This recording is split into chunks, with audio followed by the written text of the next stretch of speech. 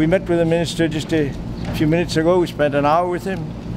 Uh, the, the concrete news that we can give you is that he has put $80 million right away into improving our service. It'll mean buying new equipment, so that takes time. We've heard that used equipment is available and might be, be available sooner. He will check that out.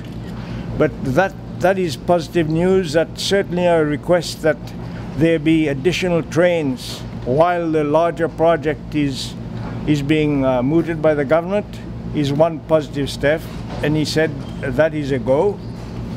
In regard to the larger Train de l'Ouest project, he agrees that uh, he, he told us he's committed to a, a rapid link between the West and, and, and, uh, and Montreal.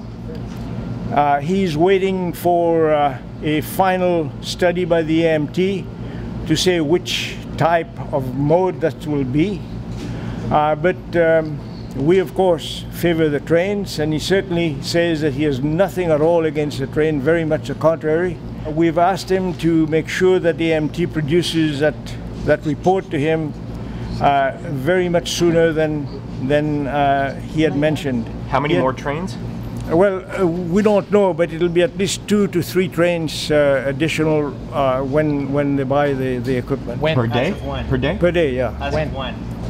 Well, you know, At the latest, at if I the- can, uh, at the latest, depending on where they get the trains, so they were looking at 18 to 24 months, but certain avenues that were brought forward today at the meeting, and the minister was very, very open, could be advancing that timeline. Uh, we are just as skeptical about promises as you are. I used to be in politics, so I know what it's like. But what the difference is, is that the premier has committed himself before the election, during the election. He has, uh, you know, written to us after the election.